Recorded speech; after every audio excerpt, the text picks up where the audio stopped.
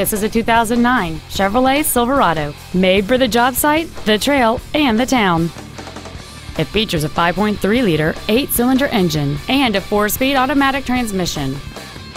Its top features include air conditioning with automatic climate control, cruise control, heated side view mirrors, a DVD video player, a leather wrapped steering wheel, chrome wheels, an illuminated driver's side vanity mirror, a low tire pressure indicator, a remote start feature, and this vehicle has fewer than 27,000 miles on the odometer. This vehicle won't last long at this price. Call and arrange a test drive now.